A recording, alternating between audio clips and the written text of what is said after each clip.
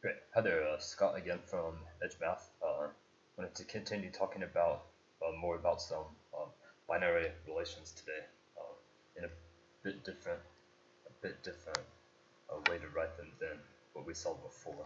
Um, so, so let's take for example, it's the set um, 2, 3, 5, 7, 11, and we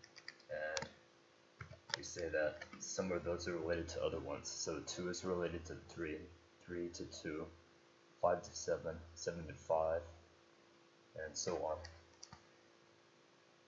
And we can look at whether this is reflexive, symmetric, or transitive, and then and then in cases where it's not, give counterexamples. So so for reflexive, well that that would mean that we would need to have 2 is related to 2, 3 to 3, and so on. Um, so it's not reflexive, so it doesn't have those in there. Um, so how about symmetric? We would need to have, for symmetric, we need to have, whenever we have A is related to B, we need B related to A.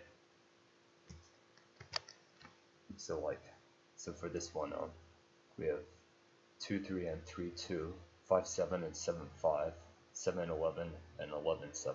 So that's, that's symmetric. Um, about uh, transitive. So for it to be transitive, whenever we have A, B, and B, C, we also have AC. So for this one, we would, whenever we have, so for example, we have 2, 3, and 3, 2,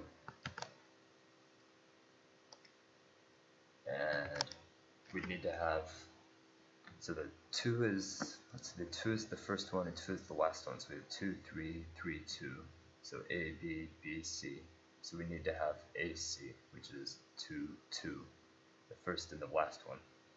We need to have that if it were transitive but we don't have that. So it's not transitive.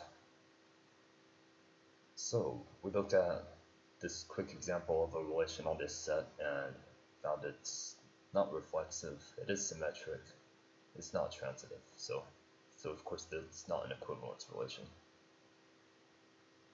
So great, uh, if everything's clear with that, uh, let me know if you have any questions or if there's any other areas uh, I can talk about for you, uh, uh, and I hope you have a great day.